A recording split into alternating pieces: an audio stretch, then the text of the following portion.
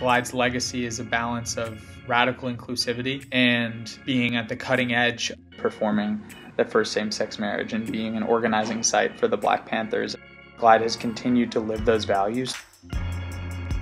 In the pandemic, Glide especially has been critical in continuing to provide services to those who are being hardest hit. The Legacy Committee is a motivated, entrepreneurial, and diverse community of young people who believe in Glide's mission and are willing to take it to the next level.